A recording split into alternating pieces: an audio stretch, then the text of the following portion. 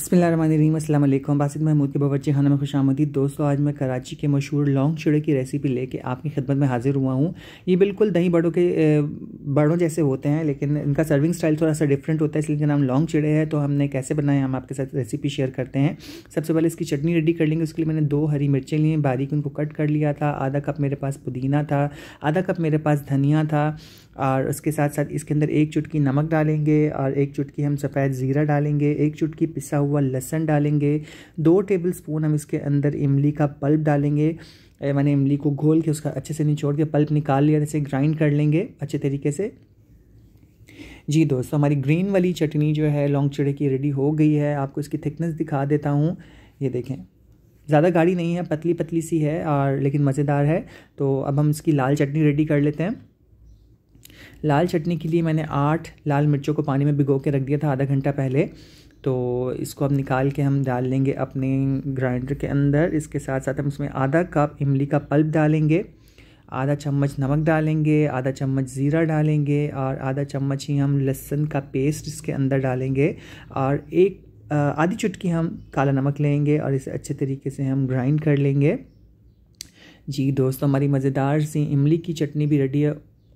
एक रह गई है मिर्च कोई बात नहीं चलता है।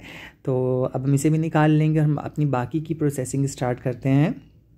मेरे पास एक कप, यानी एक पाव मैदा है, उसके अंदर मैंने एक दरमियानी साइज़ का प्याज ग्रेट करके, कद्दूकश करके उसका रस निकाल लिया था। ये इसके अंदर शामिल करेंगे। एक चाय का चम्मच नमक जाएगा, एक चाय का चम्मच सफ़ेद ज़ीरा जाएगा, एक चाय का चम्मच लहसुन का पेस्ट इसमें डालेंगे और थोड़ा थोड़ा सा पानी करके, तकरीबन आधा ग्लास पानी या पौना ग्लास पानी हमें लगेगा, हम इसको घोल लेंगे। तो हिलाते रहेंगे अच्छा सा बैटर इसका थिक सा रेडी कर लेंगे।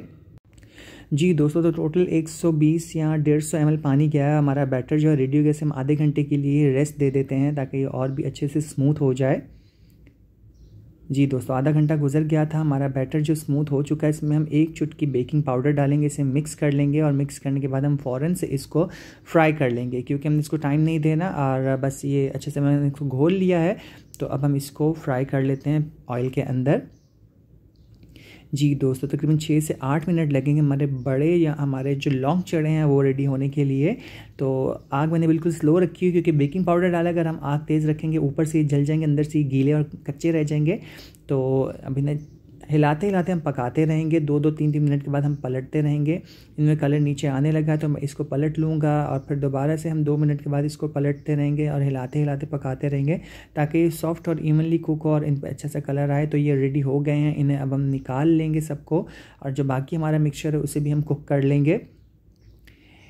एक ग्लास में पास पानी इसमें एक चुटकी के बराबर मैंने नमक डाला है, उसे घोल लेंगे अच्छे तरीके से और जो हम लोगों ने लॉन्ग चिड़े फ्राई किए हैं, वो इसके अंदर हम डाल देंगे उसको आधा घंटे के लिए, पंद्रह मिनट के लिए हम छोड़ देंगे ताकि अच्छे से नरम हो जाएँ। जी दोस्तों बीस मिनट मैंने टाइम दिया है और ये नरम हो चुके थे, इसे अच्छे तरीके से एहतियात से निचोड़ के हम निकाल लेंगे ताकि ये टूटे नहीं, इनकी शेप ख़राब नहीं हो। और इन्हें हम अपनी सर्विंग डिश में रखते जाएँगे जिसमें हमने सर्व करना है।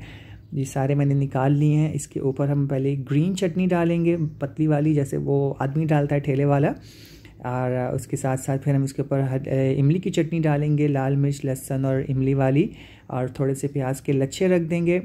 और इसके ऊपर फिर लच्छों के ऊपर मज़ीद हम थोड़ी थोड़ी सी चटनी और डाल देंगे। थोड़ी हरी वाली चटनी डाल देंगे और थोड़ी सी लाल वाली चटनी डाल देंगे। और इसके साथ साथ सर्विंग में भी मैं हरी और लाल चटनी रख दूँगा तो होप्स आपको रेसिपी अच्छी लगी होगी। अगर आपको रेसिपी अच्छी लगी तो प्लीज़ वीडियो को लाइक कीजिएगा चैनल को सब्सक्राइब कीजिएगा। अपना बहुत सारा ख्याल रखिएगा, मुझे दुआ में याद रखिएगा। इजाज़त दे दीजिए, अल्लाह हाफ़